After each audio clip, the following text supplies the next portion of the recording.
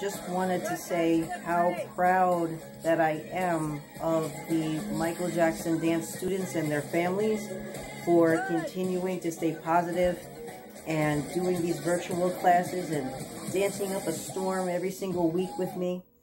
And also I'd like to note that two of my students actually had contracted the coronavirus, uh, sadly.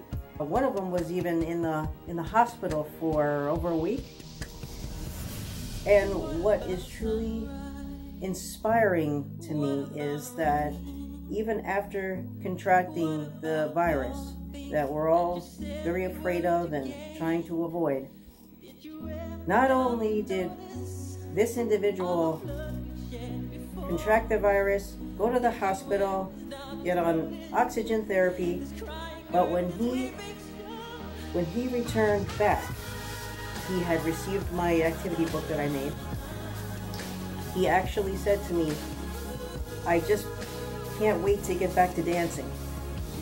And, um, you know, I, I, I prayed for him and I said, I, I hope that that happens and I hope that you're going to be able to join us again one day for our class. Well, would you know that one week later,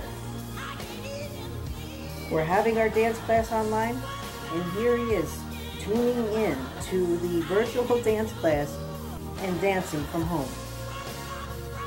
There's remarkable success stories and inspirational stories that we all have to know. We all have to keep in mind when we feel down and we feel a little hopeless sometimes.